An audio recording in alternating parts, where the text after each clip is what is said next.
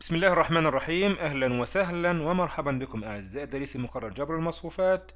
ومع الجزء الثاني من الدرس الأول في الوحدة الثانية نتعرف فيه على كيفية حساب المحيددات ومعاملات المصفوفة minors and cofactors of a matrix.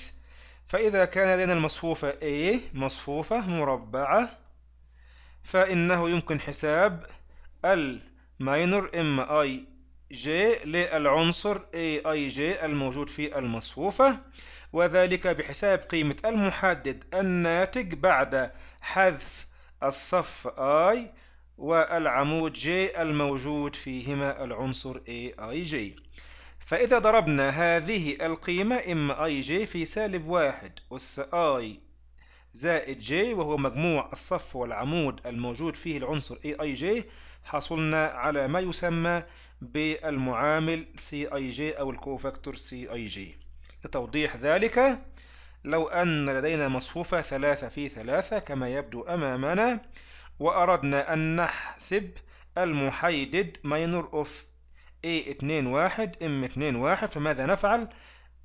نحذف الصف والعمود الموجود فيه هذا العنصر فيتبقى لدينا المحيدد الصغير المكون من A واحد اثنين و A واحد ثلاثة و A ثلاثة اثنين و A ثلاثة ثلاثة.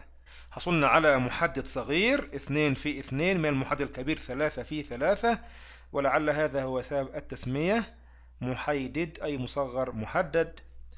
وإذا ضربنا هذه الكمية M واحد اثنين في سالب واحد أس مجموع الصف وهو اثنين والعمود وهو واحد يعني سالب واحد أس ثلاثة فيعطي سالب واحد في ام اتنين واحد. إليكم مثالا عدديا.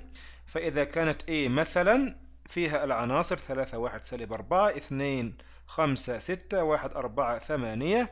وأردنا أن نحسب المحيدد ام واحد واحد مثلا نقوم بحذف الصف الأول واحد والعمود الأول أيضا واحد فيتبقى لدينا المحدد الصغير خمسة ستة أربعة ثمانية هكذا. فنحسب قيمة هذا المحدد القطر الرئيسي خمسة في ثمانية أربعين. ناقص القطر غير الرئيسي أربعة في ستة أربعة وعشرين فيكون الناتج ستاشر. ويكون ال cofactor يمكن حسابه C واحد واحد.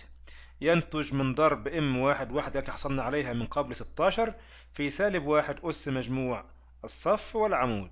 واحد زائد واحد اثنين سالب واحد تربيع بموجب واحد أي أن سي واحد واحد هو إم واحد واحد أي يساوي ستاشر.